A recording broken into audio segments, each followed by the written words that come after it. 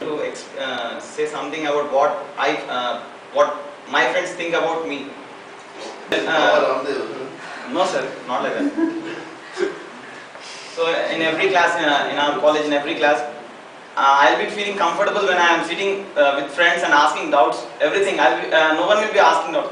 I'll, I'll be uh, going like anything. I'll be asking doubts regularly.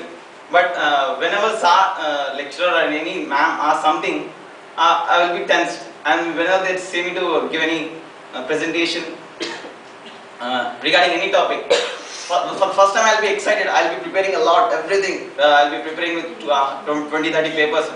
Whenever I go, go near the stage, everything will be vanished. Don't know why. And I do have a problem. Like uh, I'll, I'll be preparing a lot, but speed. I'll be not able to communicate effectively. Uh, and what else? uh, uh, there's a problem uh, like I'll be stuck in middle. And I'll be waiting for 2 3 seconds 2 3 minutes. So uh, it will be a uh, proper flow will not be there uh, for me. So I, I would like to change in that way